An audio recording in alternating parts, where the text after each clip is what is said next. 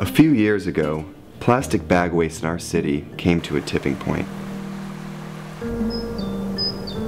It was clear. We had a bag problem. My department was tasked to reduce plastic bag consumption. We needed to come up with ways to change human behavior. So we asked ourselves, Would you like a bag? what do people really hate?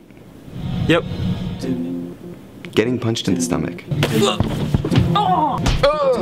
Preliminary studies showed that the consequences weren't severe enough to warrant behavioral change. Actually, can I get that double bagged?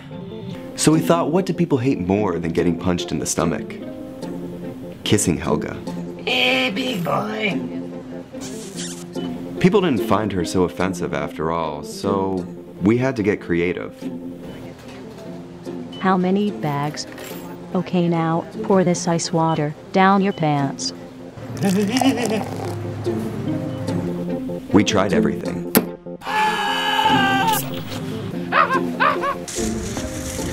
Eat this rat. Defuse this bomb. Even fighting your clone. After blowing through millions of dollars of government funds on research, I came up with a brilliant idea. Why don't we just charge five cents per bag?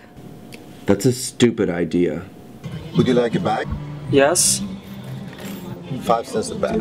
Five cents? Five cents? Do I still have the option of getting punched? Honestly, I don't know how everyone else missed it. Why don't you just get a reusable bag?